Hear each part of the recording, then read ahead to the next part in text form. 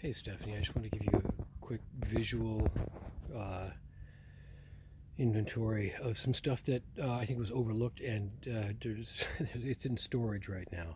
I'm going to give Molly a key uh, and instructions so she can get in anytime she wants. Um, but this is stuff that I'm sure I just I know that Molly and Griffin just missed it uh, when we were cleaning out uh, Fern Street. Um, so these are all full of wonderful stuff. This I think is kind of aspiration. I don't think there's anything in there really. Um, this one, I'm just gonna move a couple things around so you can get an idea. And that is in that box.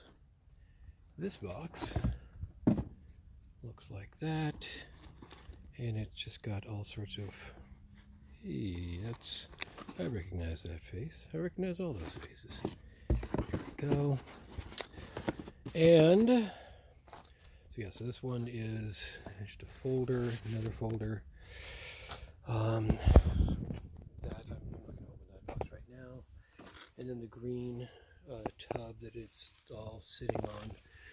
It's got, I don't know what all is in there. But anyway,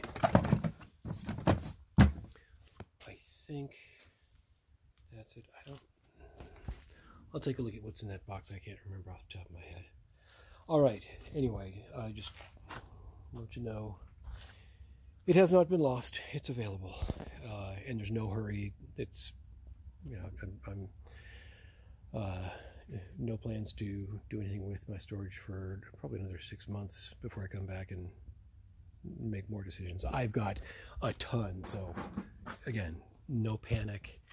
Uh, there's not it, it, blah blah blah. All right, good enough. All right, hope you're doing well. Bye bye.